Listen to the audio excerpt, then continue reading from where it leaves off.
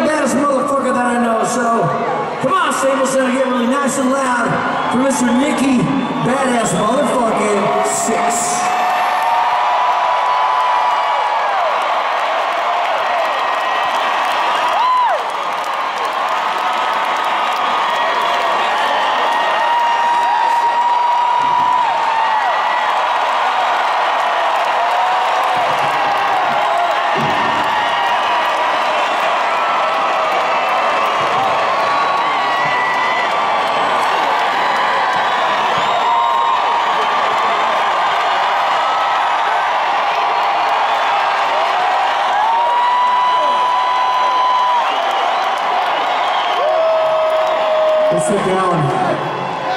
Guess quite a few years ago we decided to set off on this tour, our final tour, and uh, we made a list of all the cities that we wanted to play, places that were important to us, places that were part of us becoming who we are as a band, and there was obviously Tokyo and Paris and London, Chicago, New York.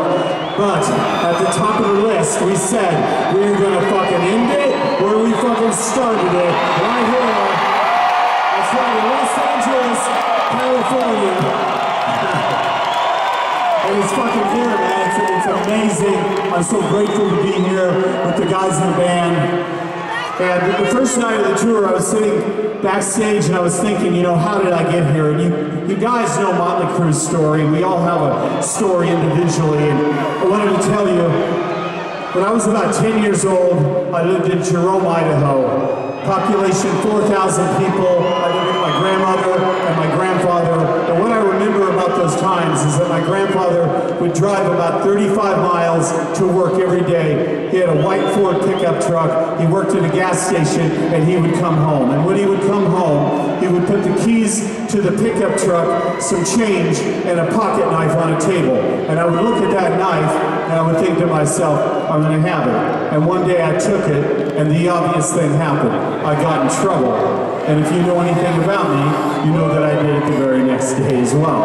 And the next day, and the next day, and the next day. And one day, he came home from work, he put those keys on a table, some change, and he looked at me, and he handed me my very first knife. And I've had a knife like this knife that I have in my boot, for some version,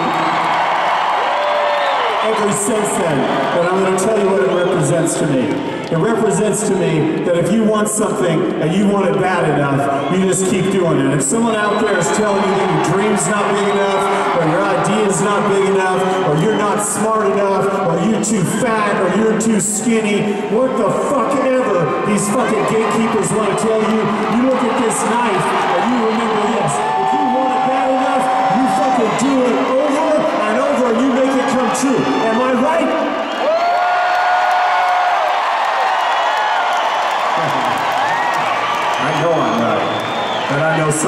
somebody out there is going to do something fucking amazing too. I feel, well, I feel very fucking grateful that I'm alive, first of all. And second,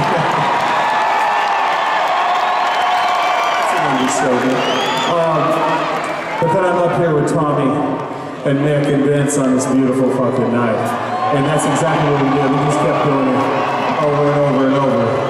Now, if you do me a favor, I know everybody in here has a cell phone in your purse or in your ass pocket. Pull it out right now for me. Turn on the flashlight, Los Angeles, California. For one last time in our career, let's light this beautiful fucking place up. Let's see it.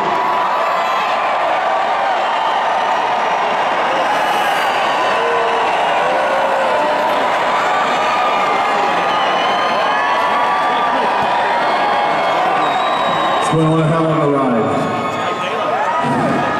So maybe tomorrow, or maybe next week, maybe next month, maybe a year from now, maybe five years from now, somebody's going to look at you and they're going to say, you remember that band Motley Crue? They were pretty cool. And you know what you're going to say? Well, fuck you, because I was at their last fucking concert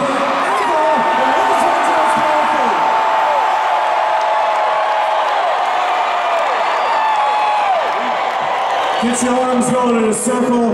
Come on, boys. Let's bring some anarchy.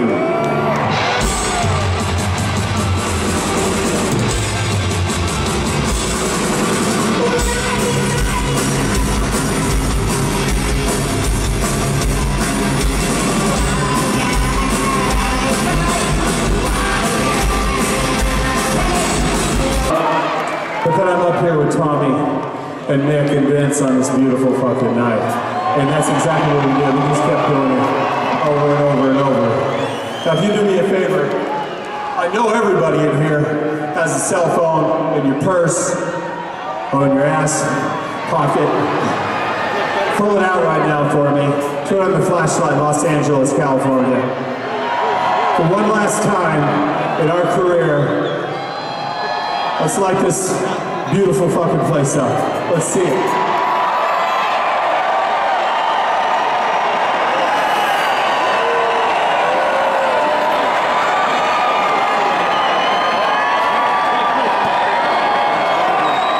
It's been one hell of a ride.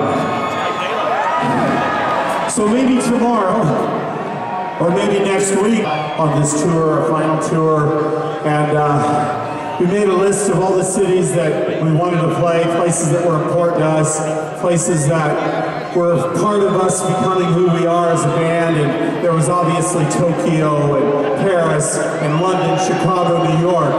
But at the top of the list, we said we are gonna fucking end it where we fucking started it, right here.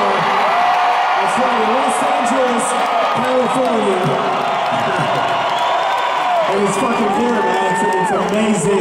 I'm so grateful to be here with the guys in the band. And the first night of the tour, I was sitting backstage and I was thinking, you know, how did I get here? And you, you guys know Motley Crue's story. We all have a story individually. And I wanted to tell you, when I was about 10 years old, I lived in Jerome, Idaho. Population 4,000 people. I lived with my grandmother and my grandfather. And what I remember about those times is that my grandfather would drive about 35 miles to work every day. He had a white Ford pickup truck. He worked at a gas station and he would come home. And when he would come home, he would put the keys to the pickup truck, some change, and a pocket knife on a table. And I would look at that knife and I would think to myself, I'm going to have it. And one day I took it and the obvious thing happened. I got in trouble. And if you know anything about me, you know that next day as well. And the next day, and the next day, and the next day. And one day, he came home from work, he put those keys on a table, some change, and he looked at me, and he handed me my very first knife. And I've had a knife like this knife that I have in my boot, called Celebration.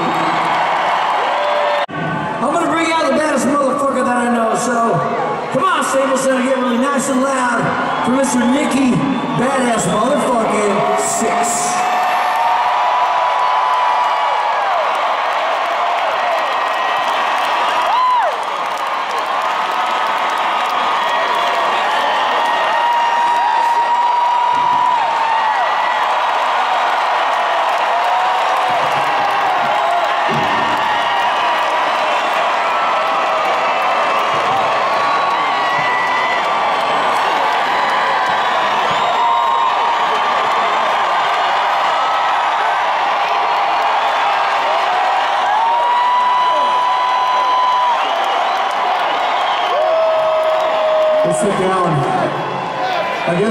Years ago we decided to set off every since then. And I'm going to tell you what it represents to me. It represents to me that if you want something and you want it bad enough, you just keep doing it. If someone out there is telling you that your dream's not big enough, or your idea's not big enough, or you're not smart enough, or you're too fat, or you're too skinny, what the fuck ever these fucking gatekeepers want to tell you, you look at this knife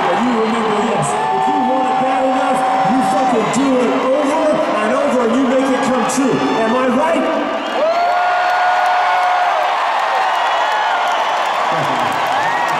I know I'm right. And I know somebody out there is going to do something fucking amazing too. I feel, well, I feel very fucking grateful that I'm alive, first of all. And second, That's a show, man. Um,